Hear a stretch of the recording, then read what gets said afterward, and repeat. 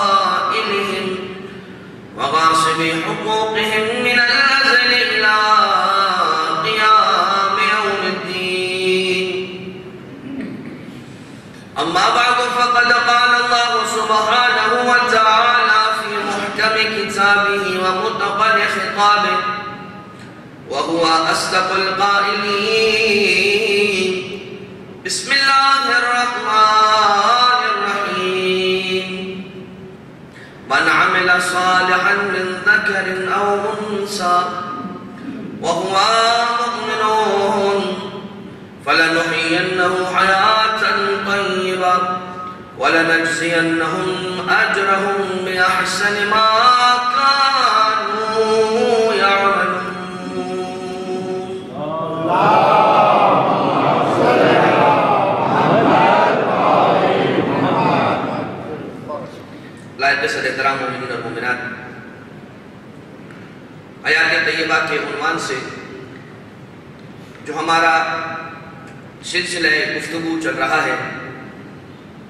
कि आज अपने तीसरे दौर में दाखिल हो रहा है।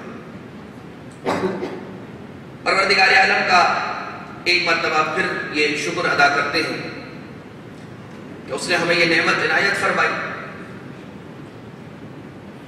कि फर्श अदाय हुसैन सलाम पर आकर ऐसे शामिल कर दिया कि जैसे नजात पाने वालों को कश्ती नजात कश्ती हुसैन सफीनतुल नजात में शामिल कर परवर दिगार आलम ने अपने बंदे को अपने आप से, खुद से करीब करने के लिए इतने बहाने रखे इतने बहाने रखे या ये कह लीजिए कि इतने मौके रखे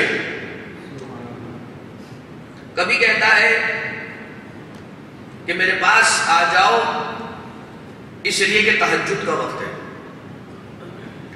कभी कहता है कि मेरे पास आ जाओ ये आयमा अहलबैतलाम में से किसी एक की शहादत की शब्द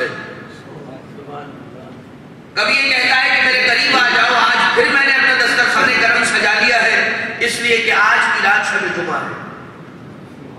आज की रात शब जुमा नहीं है, आने वाली रात, कल की रात इंशाल्लाह वो शब जुमा है लेकिन बरबर दिगार आलम। ऐसा महसूस होता है कि बार बार अपने बंदों को मौके अदा कर रहा है, बहाने के तौर पर कि मेरा बंदा बस चलकर मेरे दस्तरखाने करम पर आ जाए, फिर उसे सीने से लगा दे मेरा और इसी काम के लिए परवरदिगार आलम ने अपने बेहतरीन बंदों को इस ज़मीन पर रखा, जो सबसे ज़्यादा जिनसे खुदा ने अपनी मोहब्बत, सबसे ज़्यादा खुदा ने जिन्हें टूट कर चाहा। और ये रुतबे जो बुलंद से बुलंद से बुलंदर होते चले गए, ये कैसे बुलंद हुए? कि खुदा ताला अपने बंदों से इम्तिहान लेता रहा, जब इम्तिहानों में कामयाब होते चले गए जैसे जैसे कामयाबी मिलती रही, उनका एक दर्जा और इजाफा कर दिया।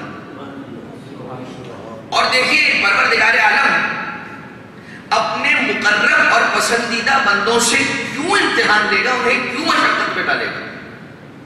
बल्कि खुदा को तो अब ये एक सवाल है। हमारी बात चूँकि कल इम्तिहान के मौजू पर हो रही थी, हयात तैयबा के जेल में, कि ये कहा गया आपकी खिदमत में, एक मुकदमे के तौर पर कुछ बात आपकी खिदमत में अर्ज़ की गई थी। मैं उसकी तकरार यहाँ पर नहीं करूँगा। उसके बाद हमने ये अर्ज़ किया कि जब इंसान हयात तैयबा के रास्ते पर गामजन हो गया, उसके बाद वो ये ना समझे कि अब सब कुछ इतना स्मूथ चलेगा कि उसे पता भी ना चलेगा और ज़िंदगी गुजर जाएगी। मुश्किलात का सामना उसे करना होगा हर्डल्स को उसे फेस करना होगा। और ये हर्डल्स ही वो होंगे कि जिन्हें फेस करने के बाद जब इंसान उन हर्डल्स और मुश्किलात में से कामयाबी के साथ गुजर जाएगा तो परवर दिगार आलम उसे इनाम के तौर पर उसके ईमान के मरहले में इजाफा कर बल्कि अगर मैं इसको मजीद और सिंप्लीफाई करना चाहूँ तो ये कि परवर दिगार आलम से कुर्ब का जो सफ़र है, वो सफ़र तय होता चला जाएगा जैसे जैसे इंसान इम्तिहानात को पार करता चला जाएगा। जैसे जैसे इंसान परवरदिगार आलम की जानब से आने वाले इम्तिहान को सर करता जाएगा। खुदा ताला से और करीब से करीब तर होता चला जाएगा। अच्छा। लेकिन सवाल यह है कि इंसान का जो जो मिजाज है, वो तो अपनी जगह पर है। कुरान करीम के अंदर ये इरशाद हो रहा है, इरशाद बारी ताला हो रहा है बिस्मिल्लाहिर रहमानिर रहीम। फअम्मल इंसानु इदा मबतलाहु रब्बुहु।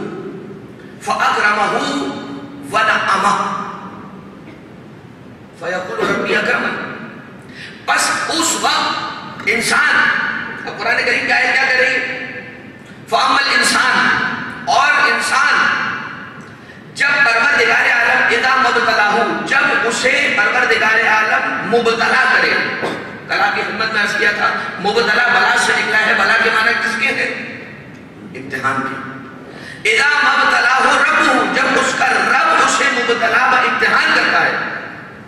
किसी मशक्कत में डालता है, जो उसका इम्तिहान होता है, और उस इम्तिहान के बाद बस उस पर इकराम करता है, अपने कर्म का मुजाहरा करता है, और उस पर अपनी नेमतों की बारिश कर देता है तो इंसान ये कहता है अकरमन। कि मेरे रब ने मुझ पर इकराम किया रब ने मुझ पर करम किया वह अम्मा इदा मबतला हो अलैहि रिज़्क़हु रब्बी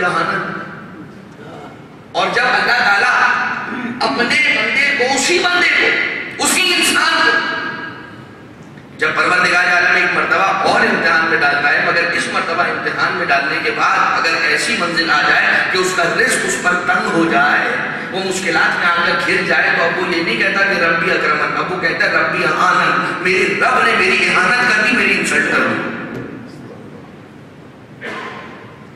आलम मिजाज इंसानी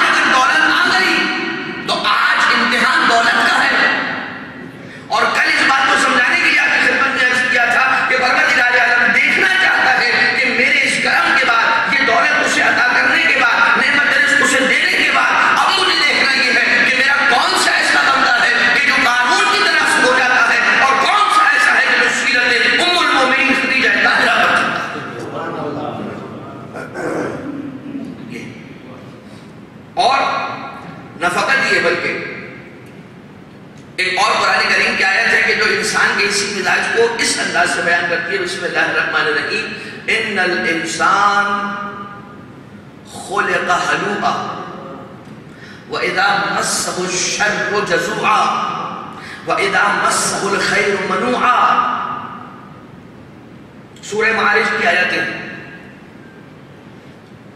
और जो पहले आपकी खिदमत में किया गया, वो सूरत फजर, सूरह इमाम हुसैन अलैहिस्सलाम की आयत थी आयतें थी, रब्बी अकरमन और रब्बी अहानन ये सूरतुल मारिज की आयत है 19 और 20 परवरदिगार आलम क्या इरशाद फरमा रहा इन्नल इंसाना खुलिका हलुआ इंसान को परवरदिगार आलम ने जो खल किया है, इंसान की खिलकत ऐसी हुई है कि बड़ा बेसब्र है। इदा मस्सहु शर्रु जज़ुआ।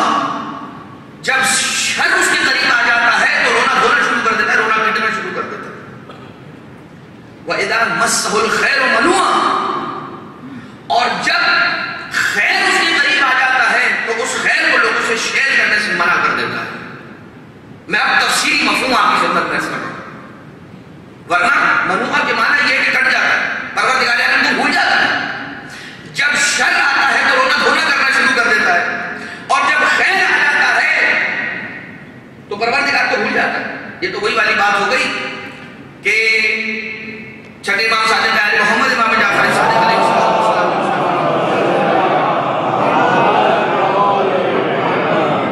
मौला इरशाद फरमाते हैं, अब वो शख्स वजूद खुदा का कायम नहीं था वो दहरिया था। अब ये बार बार का आपको सुना हुआ वाक्य मैं इसे पूरा बयान नहीं करूँगा सिर्फ़ इशारा और आगे बढ़ जाएँगे इंशाल्लाह। इमाम सलाम से अगर यही जो, जो उसने सवाल किया था तो मौला ने यही तो यही तो जवाब दिया था कि क्या तूने कभी कश्ती का सफ़र किया है? और जब सफ़र किया है तो क्या कभी ऐसा हुआ है कि जब समंदर में कश्ती से सफ़र कर रहा था तो सफ़र उस समंदर में तो बियानी आ गई तूफ़ान आ गया और उसके बाद इतना बड़ा तूफ़ान था कि खतरा लाहक हो गया, कि तेरी कश्ती डूब जाएगी तो हलाक हो जाएगा। कहा ऐसी सिचुएशन आई है मेरी ज़िंदगी तो कहा कि क्या उस वक्त भी कोई ऐसी शय थी कि जिससे तुझे उम्मीद थी कि वो ताकत तुझे बचा लेगी? कहा हाँ एक ख्याल उस वक्त मेरे जहन में था।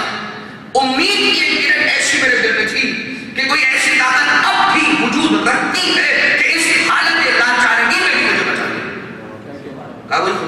अच्छा लेकिन होता क्या है जब इंसान अब ये तो उसकी बात होगी जो दहरिया है, मगर जो दहरिया नहीं जो मुसलमान है। और खास तौर से जो मोमिन है। चाहे वो प्लेन का सफ़र कर रहा हो, चाहे वो कश्ती का सफ़र कर रहा हो, चाहे वो गाड़ी का सफ़र कर रहा हो। खुदा न खासता, अगर कोई ऐसी मुश्किल के अंदर फंस जाए तो वहाँ पर फ़ौरन से रुक कर अब ये मन्नत और अहद और नज़र करना बहुत अच्छी चीज़ है। लेकिन होता यह है कि इंसान को सारी मन्नतें उसी वक्त याद आती हैं जब इंसान तकलीफ़ में आता है अच्छा ये बुरी बात नहीं है। हमें तो अहले बैत सलाम ने सिखाया। तो फिर अगर ऐसा है कि मुसीबत में आकर मैं खुदा को याद करता हूँ तो फिर मुसीबत से नफरत क्यों करता हूँ? दूर क्यों भागता हूँ? इसे सीने से क्यों नहीं लगाता? खुशी से खुदा का इम्तिहान कहकर इसे कबूल क्यों नहीं करता? तो होता ही है कि खुदा, बस मुझे इस मरतबा बचा ले अगर तूने मुझे इस मरतबा बचा लिया ना, अब ये जो प्लेन इतना ज़्यादा टर्बुलेंस का शिकार हो रहा है, और डर ऐसा लग रहा है कि ये रोल इतना ज़्यादा हो रहा है वन एटी डिग्री की ऊपर रोल हो रहा है, ये किसी भी गिरेगा? और सबने जो है, वो अपनी आखिरी साँसें ले ली। यकीन से बिल्कुल करीब की मंजिल है कि मौत इंसान अपनी आँखों के सामने देख रहा है। और उसके बाद ये कहता है, खुदा मुझे बचा ले। अगर तूने बचा लिया तो मैं ये ये ये ये नए काम करूँगा, ये ये ये ये बुरे काम छोड़ दूँगा। ऐसा होता है या नहीं होता है? मगर जब खुदा बचा लेता है और वही प्लेन जब लैंड होता है एयरपोर्ट पर, और जब वो उसी एयरक्राफ्ट से निकलकर जब वेटिंग लॉन्च में पहुँचता है एयरपोर्ट की लॉबी में पहुँचता है तो वो उसी लॉबी में क्या करता है? उस वादे को भूल जाता है कि जो वादा उसने अभी अभी कुछ देर पहले परवर दिखाने आलम से किया था और वो सरकश हो जाता है। इसके माना क्या हुआ? परवर दिगारे आलम अपने चुनीदा बंदों से इम्तिहान इसलिए लेता है ताकि कल को ये कोई ना कहे कि तूने फुला को अजम नबी बना दिया, ये तो तूने उसे बना दिया, चाहता तो मुझे बना देता। खुदा कहता है कि देख, मैंने उससे ये ये इम्तिहान लिया, वो मेरे इन में कामयाब हुआ। इसके माना कि उसके अंदर ये सलाहियत थी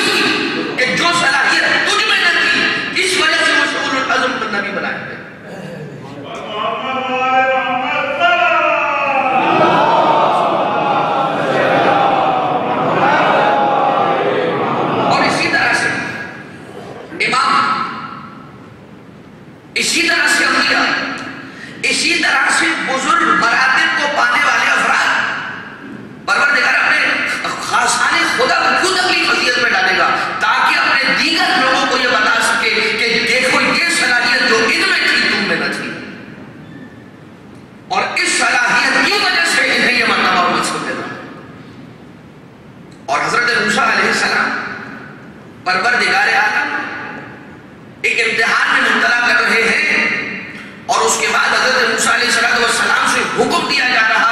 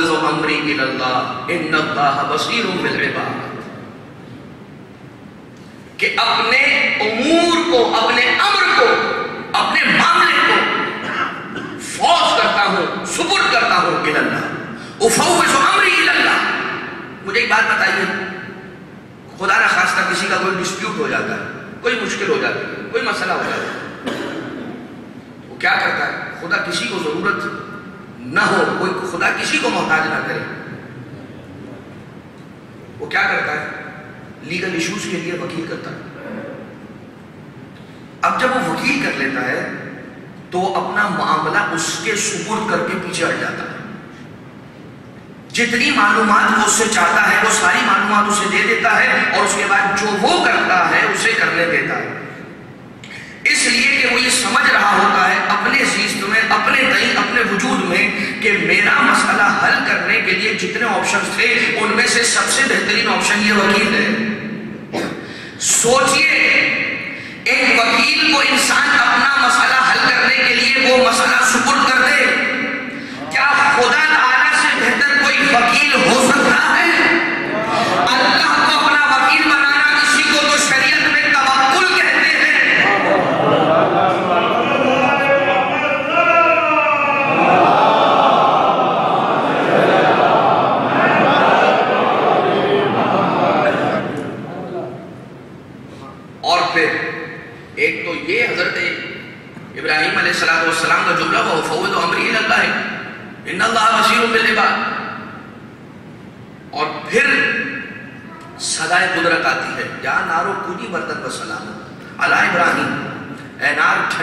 होगा है आग ठंडी हो जा इब्राहिम के लिए. हम्म। उसकी माहियत है जलाना। आग की वजूद की माहियत है कि जब जब आग में कुछ डालोगे वो जलाए। लेकिन जब हुक्म खुदा आ जाए उसकी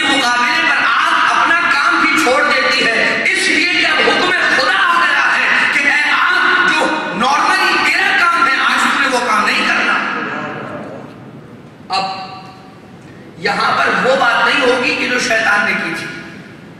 शैतान सरकश था। मगर आज शैतान सिफत, ये बातें जब सामने आती हैं, इंसानों की ज़ुबान से तो फिर अफसोस का मकाम होता है। क्या? पर लॉजिक तो ये कहती है कि ऐसा नहीं होना चाहिए। लॉजिक तो ये कहती है, हमें लॉजिक से समझ नहीं आया। आप बात जो समझा रहे लॉजिक से समझाइए। कुछ ऐसे अफराद हमारे मुआशरे और हमारी सोसाइटी के अंदर वजूद रखते हैं। मुझे नहीं मालूम कि जो आपके चेहरों पर सवालिया निशान आ गए हैं, आप जानते हैं इस मसले को या नहीं जानते?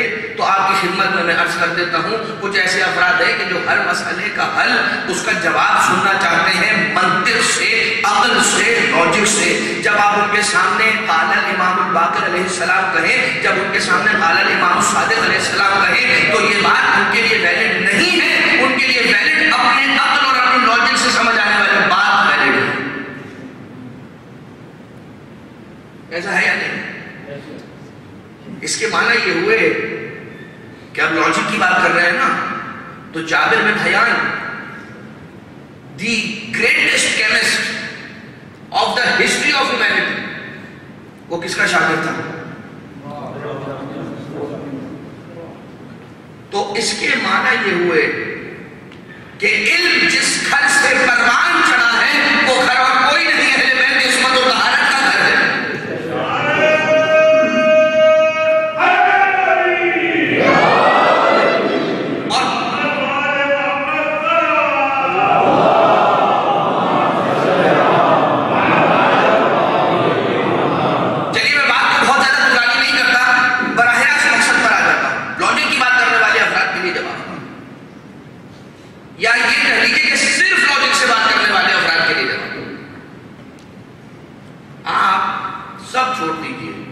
हदीस भी रहने दीजिए, अगर आपको समझ नहीं आती, कोई मसला नहीं। आप सिर्फ़ इतना बता दीजिए जो आप हर बात में लॉजिक लॉजिक करते हैं। खुद आपका हर बात में लॉजिक मांगना, इसकी इसकी क्या लॉजिक है? इसकी क्या लॉजिक तो जवाब आएगा कि मैं फ्रीडम चाहता हूँ। ये जवाब आएगा कि मैं हर चीज़ की लॉजिक इसलिए चाहता हूँ कि मैं मुकैद होकर नहीं रहना चाहता। I want to be a free man ठीक है? अब ये फ्री होना, आज़ादी फ्रीडम ये किसका नारा और किसका स्लोगन है ये रहने दीजिए, मैं यहाँ से बयान नहीं करता। मगर इतना मैं आपकी खिदमत कर सकता हूँ जब आप सवाल करेंगे कि लॉजिक से क्यों हर बात का जवाब चाहते हैं तो वो जवाब देंगे कि मैं फ्री होना चाहता हूँ। मैं इंडिपेंडेंट होना चाहता हूँ। मेरी कोई अहमियत है नहीं, ठीक है? जब इंसान हर चीज़ में अपने आप लॉजिक की राह में ले जाएगा और हर चीज़ में लॉजिक मांगेगा। जब तक उसे लॉजिक ना मिलेगी, वो आगे ना बढ़ेगा।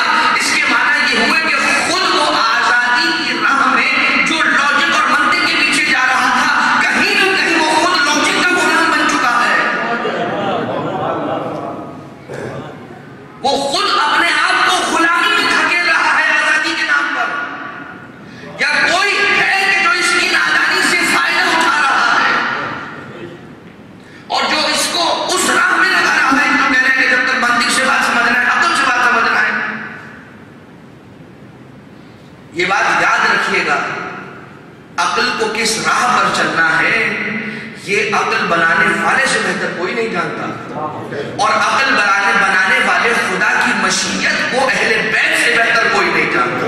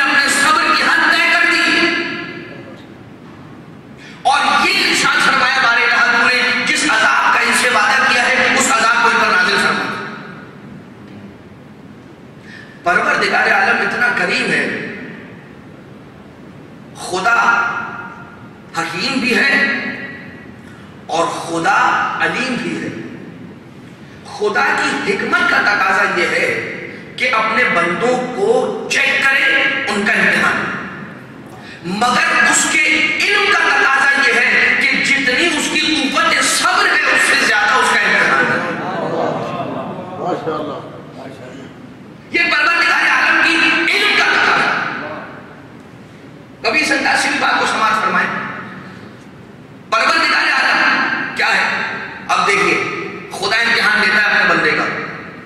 उसे इम्तिहान में डाले रखता है। जहाँ पर उफत सब्र तमाम होती हुई नज़र आती है, वहाँ पर खुदा का करम, देखिए, वहाँ पर खुदा अपने बंदे के अपने बंदे को इम्तिहान से निकाल लेता है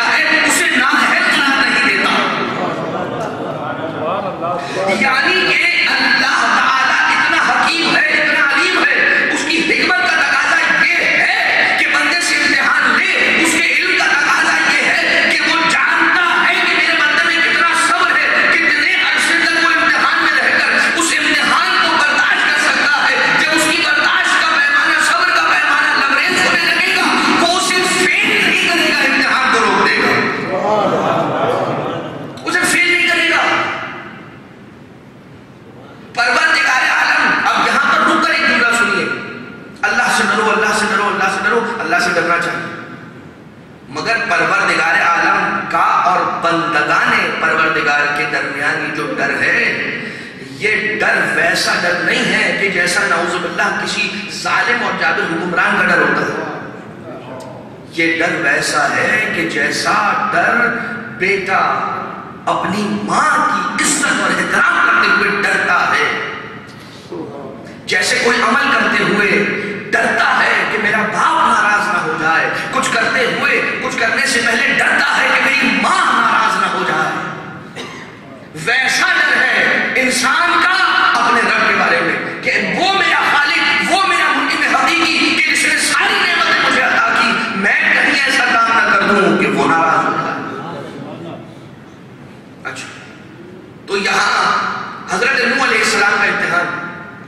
खुदा ताला ने देखा कि इम्तिहान हज़रत नूह अलैहिस्सलाम यानी सब्र नूह अपनी हद को पहुँचा। और हज़रत नूह अलैहिस्सलाम ने कहा है खुदा, अब मैं बेजार हो चुका हूँ इस कौम से। जिस अजाब का वादा किया था वो इन पर नाजिल कर अजाब आ गया, वो कौन खत्म। फिर हज़रत इब्राहिम अलैहिस्सलाम अल्लाह ताला ही ने आग में डाला। और परवरदिगार आलम ही ने उस आग को ठंडा किया हज़रत इब्राहिम के यानी कि इम्तिहान में जाते हुए तो देखा, अल्लाह के बड़े बड़े बंदों को, अल्लाह के अंबिया को इम्तिहान के मरहले में, इम्तिहान की मंजिल में जाते हुए तो देखा गया, मगर उस इम्तिहान की आखिरी हद तक नहीं पहुँचते हुए उससे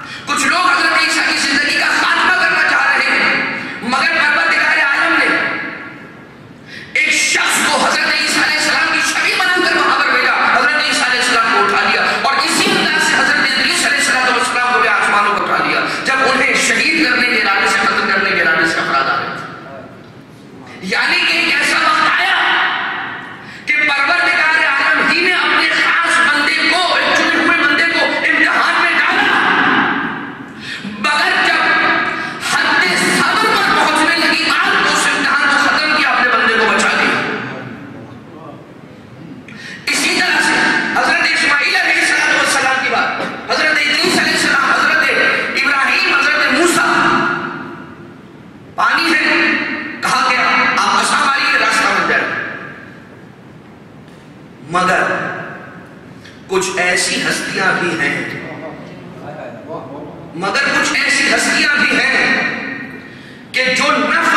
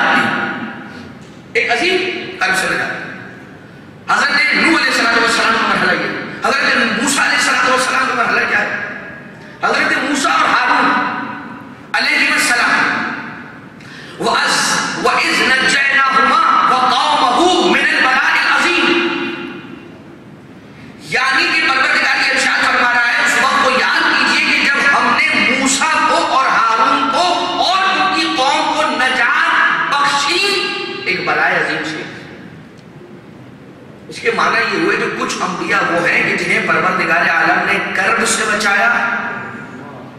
और कुछ अंबिया ऐसे हैं कि जिन्हें परवर परवरदिगार आलम ने बला से बचाया।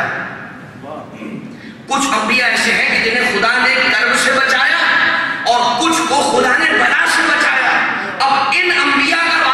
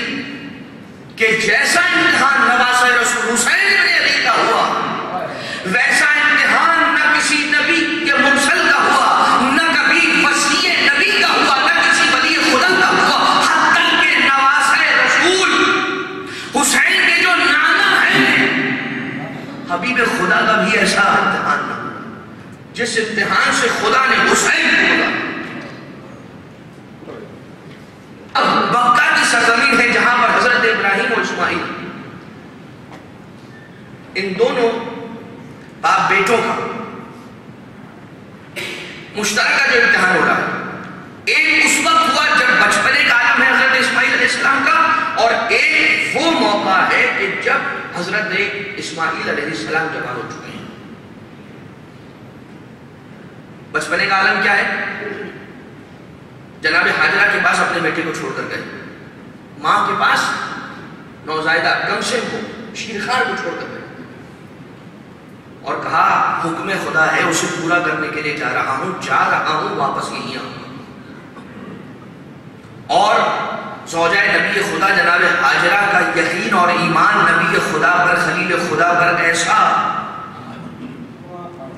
कि शिकायत का एक जुमला ज़ुबान मुबारक पर ना आया और उसके बाद इम्तिहान तो हुआ। बीबी ने उन पहाड़ों के दरमियान दौड़ तो लगाई। मगर जब वो वक्त, हद, सब रहा पहुँचा तो खुदा तला ने उस इम्तिहान को रोका, अपने इस्माइल को बचाया और उन्हीं के एड़ियों के रगड़ के ज़रिए से आब जमजम को वादी मक्का में जारी किया। इम्तिहान खत्म, अपने बंदे को बचाया। यहाँ पर भी जब हज़रत इस्माइल अब जवान हो चुके हैं और हज़रत इब्राहिम सलाम लेकर चले हैं अपने बेटे को जिबा करने के लिए। यहाँ पर रुककर दो पैगाम सुने। हज़रत इब्राहिम सलाम का ख्वाब है। बिस्मिल्लाह रहीम या बुनैया इन्नी अराफिल मनाम अन्नी अजबहुक। मेरे बेटा मैंने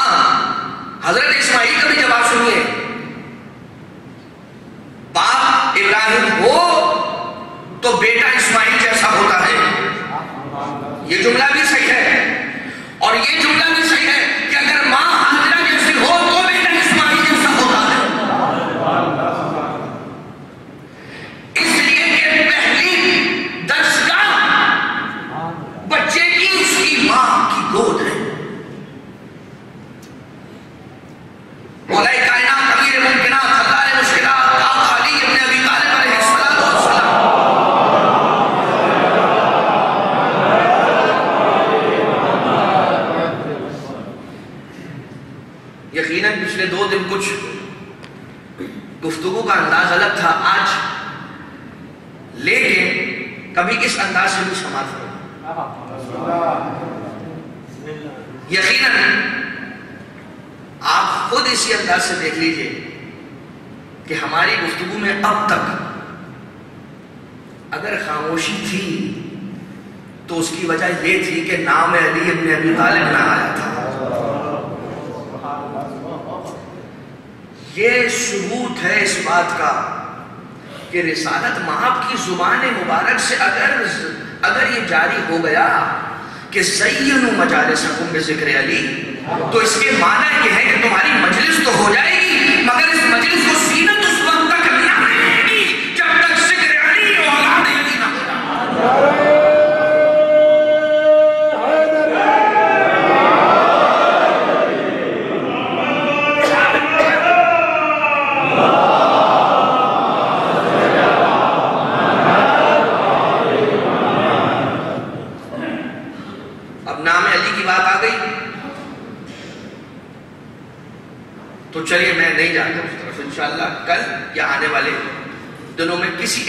एक सिर्फ़ इस बात पर कि नाम है अली अलैहिस्सलाम की क्या करामत है।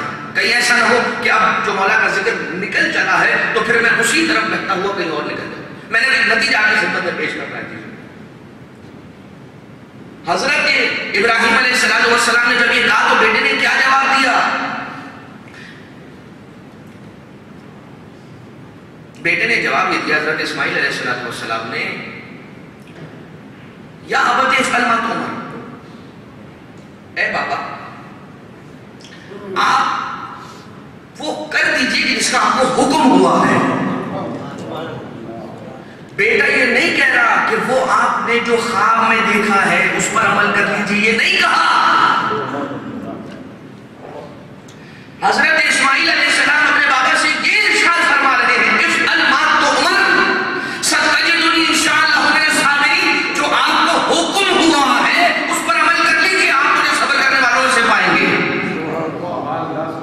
तरबियत है इब्राहिम सलाम की। ये तरबियत है जनाब हाजरा की कि जो इस्माइल सलाम इस अंदाज से आ रहे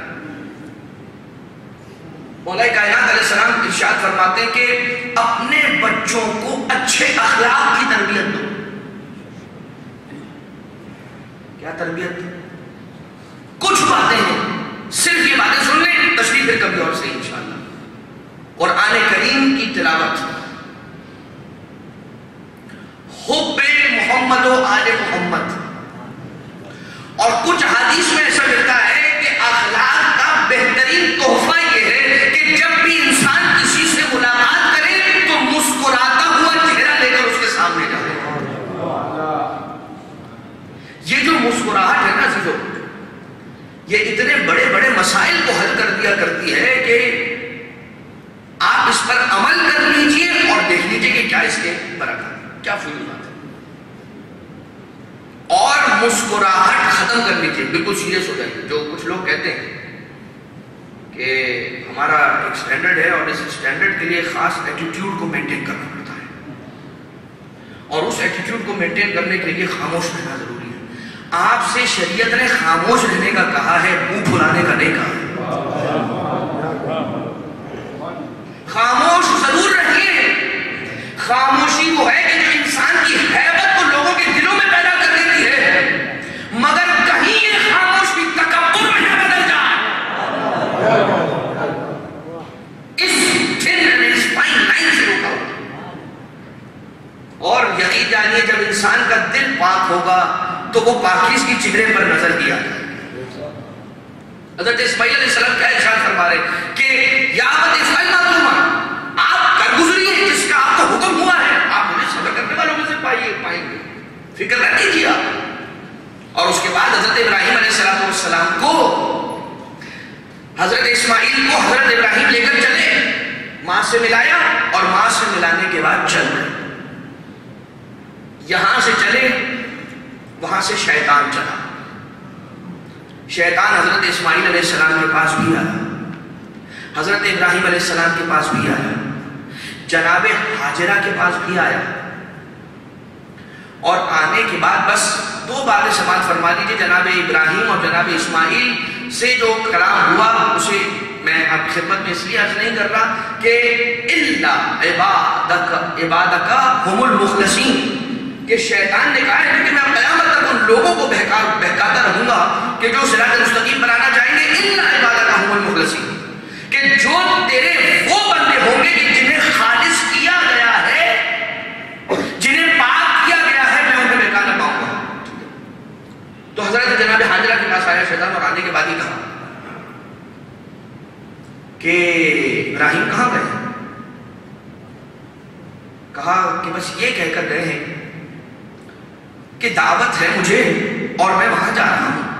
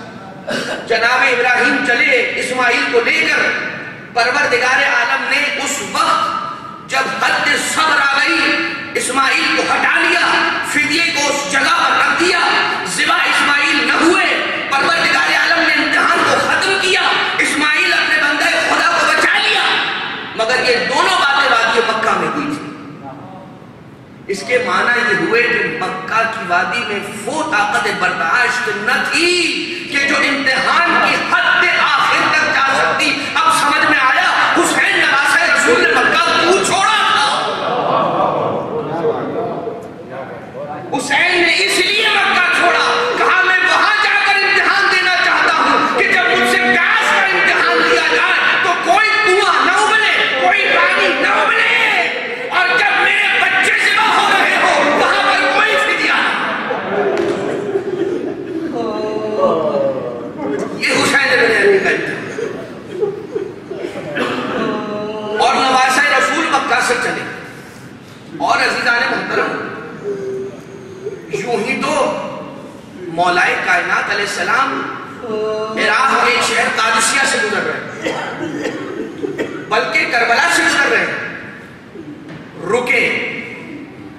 Zamir Zeus Garbalani Redwood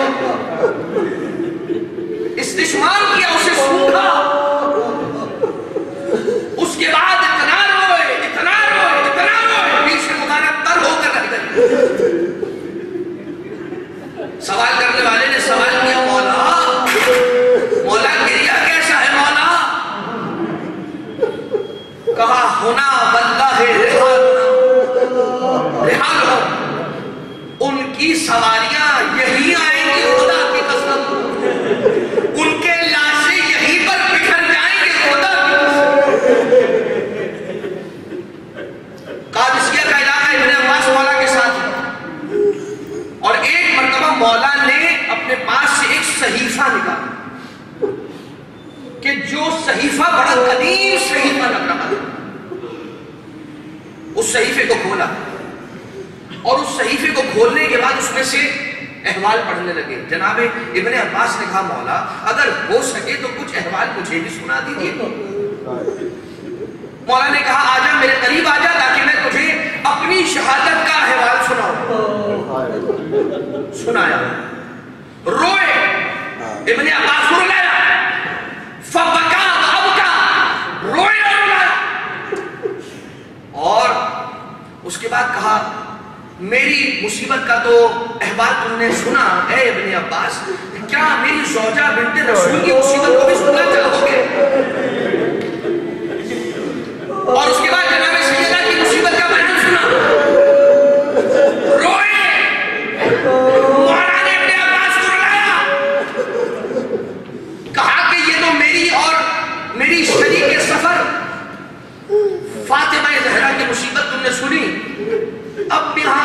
बयान करूँगा कि मेरे